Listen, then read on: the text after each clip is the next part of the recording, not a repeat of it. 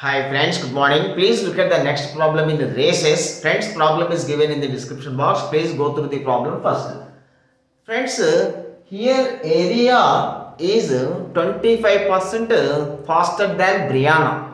That means if Briana runs 100 meters, then Aria runs uh, 125 meters. Then the ratio of their speeds 25 fives, 25 fours. So ratio of their speeds is 5 is to 4. That means uh, if Briana runs 4 meters, Aria runs uh, 5 meters. That means uh, in a race of 5 meters, in a race of uh, 5 meters, Briana must be given a lead of 1 meter.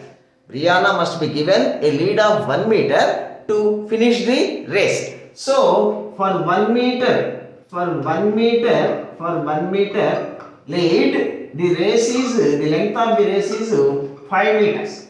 For 1 meter lead, the length of the race is 5 meters. Here, here Briana gets a lead of 7 meters. So, the length of the race is uh, 7 into 5, 35 meters friends. 35 meters friends. Thank you.